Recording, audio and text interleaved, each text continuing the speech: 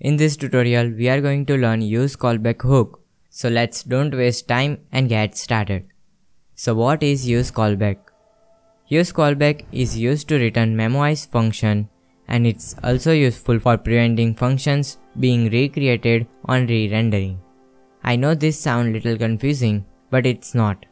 Let's understand with the example. So in this example, I create two state variables.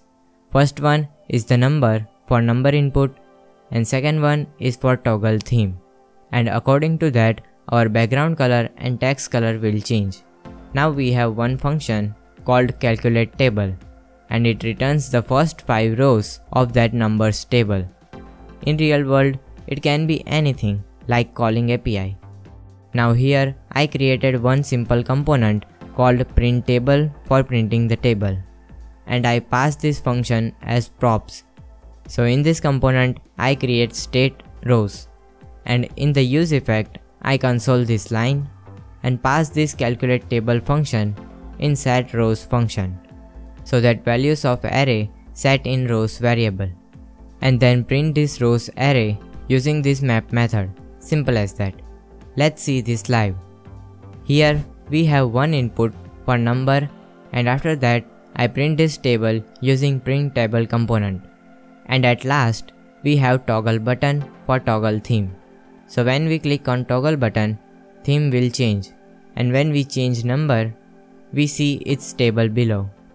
Now I will show you the problem. First of all, let me open the console and refresh the page. See, when our print table component will render first time, it console this print table runs. Now I change the number and that calculate table function will change and its re-render print table component and it again console this print table runs which is working fine. Now when I toggle theme it again console this print table runs which means print table component gets re-render even if we toggle the theme and that's the performance issue because when we change any state in this component this function will recalculate and even if our number is same, it will return the same value with new instance. So React thinks it's a new result and then it re-rendered the print table component. Now we have to stop this unwanted function recreation and that's why we use use callback hook. And the good news is use callback is exact same as the use memo hook. If you don't know what is use memo hook and how to use it, I recommend you to watch my use memo hook tutorial from here and after that continue this tutorial. So there is a little difference in use callback and use memo hook. So use memo returns the memoized value and use callback returns the memoized function. Simple as that. So first of all, I import use callback from React and add here use callback. Now it accepts two parameters like use memo and use effect. First one is callback function and second one is dependencies array. So in dependencies I write number and in callback I simply copy and paste this return statement. Now we can store this function in variable called calculate table and I remove this old function. So here if we use use memo we get only this value in this variable. But if we use use callback then we get this full function in this variable and if we want to run this function, we have to write like this. So whenever we change the number, only then and then this function will run. Now save the changes and take a look.